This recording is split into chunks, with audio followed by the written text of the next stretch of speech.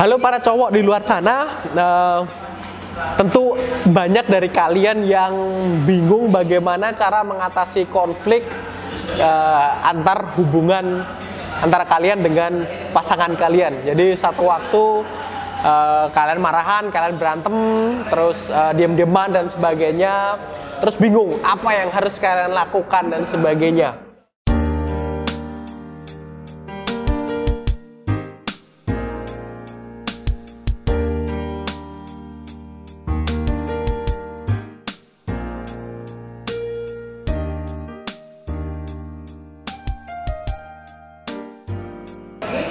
Satu tips menarik dari saya ketika terjadi uh, hal semacam seperti itu di hubungan kalian, kalian tidak perlu ambil pusing, kalian tidak perlu uh, mencari ke sana kemari apa yang harus kalian lakukan. Diamkan saja, uh, biarkan wanita Anda yang berpikir tentang apa yang sebenarnya terjadi, apa yang harus mereka lakukan dan sebagainya. Anda lakukan saja aktivitas kalian sehari-hari. Anda boleh kerja, Anda boleh berolahraga, Anda boleh bermain, hangout, nongkrong sama teman-teman kalian dan sebagainya. Dan biarkan mereka yang berpikir, biarkan mereka yang uh, memulai pembicaraan uh, nanti kepada anda lagi gitu. Jadi uh, biarkan mereka yang mulai ya katakanlah WhatsApp duluan atau BBM duluan atau nelpon duluan bahkan. Biarkan mereka. Anda tunggu saja anda lakukan saja aktivitas anda seperti biasa seolah-olah anda tidak terjadi apa pun di dalam kehidupan anda.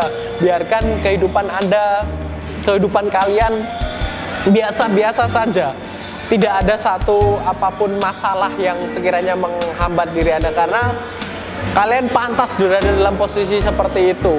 Lalu bagaimana kalau nanti akhirnya eh, tiba-tiba cewek kalian uh, ninggalin kalian? Ya sudah gitu loh. Toh masih banyak cewek-cewek lain yang uh, bisa lebih meredam emosi mereka, uh, lebih cocok buat kalian yang yang bisa ngerti kalian apa adanya, nggak nuntut ya, nggak meminta kalian untuk seperti ini, seperti itu dan sebagainya. Jadi uh, biarkan saja, uh, biarkan semuanya mengalir. Nanti satu kurun waktu dia akan hubungin kalian, atau kalaupun tidak menghubungin kalian, ya sudah gitu. Berarti dia memang uh, tipikal orang yang terlalu uh, temperamen, kurang bisa menguasai emosi mereka dan sebagainya, terlalu banyak nuntut dan seterusnya. Dan cewek seperti itu nggak pantas buat kalian semua.